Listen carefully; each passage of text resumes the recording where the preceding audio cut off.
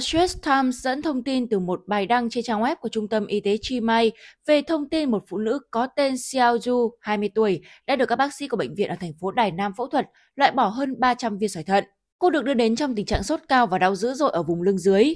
Qua siêu âm, các bác sĩ tại khoa cấp cứu phát hiện thận của bệnh nhân này bị sưng tấy, chứa dịch và có sỏi thận bên trong. Qua quá trình phẫu thuật, bệnh nhân đã ổn định và xuất viện sau vài ngày theo dõi. Trung tâm Y tế Chi Mai thông báo rằng Xiao Ju không thích uống nước và thay vào đó thường uống trà sữa chân trâu. Bác sĩ Lim Chia Yang, chuyên khoa tiết niệu, người thực hiện ca phẫu thuật của Xiao Du cho biết, 9,6% người dân Đài Loan Trung Quốc có thể bị sỏi thận trong suốt quãng đời của họ, với tỷ lệ mắc cao hơn ở nam giới, đặc biệt ở độ tuổi 50 đến 60 tuổi. Theo bác sĩ Lim, các trường hợp sỏi thận phổ biến hơn vào mùa xuân và mùa hè. Do thời tiết nóng bức, mọi người có thể bị mất nước nhiều hơn.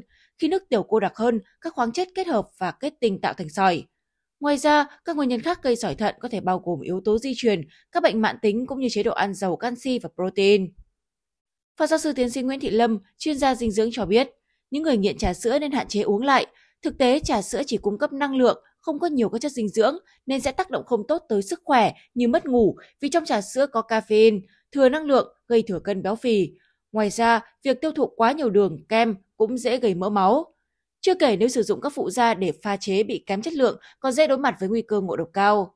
Trước đó, bác sĩ chuyên khoa 2 Đỗ Thị Ngọc Diệp, Phó Chủ tịch Hội Dinh dưỡng Việt Nam cho biết, tùy thuộc vào công thức pha chế, nguyên liệu mà lượng đường trong trà sữa khác nhau. Ước tính trong một ly trà sữa 250ml có khoảng 30g đường. Tuy nhiên, đường trong trà sữa không chỉ từ nước đường mà còn có trong các thành phần khác như sữa béo, chân trâu, kem, thạch. Khi uống một ly trà sữa 250ml thôi thì ta đã uống quá 25g đường khuyến nghị và kích cỡ càng to thì lượng đường tiêu thụ càng nhiều và vượt quá mức khuyến nghị.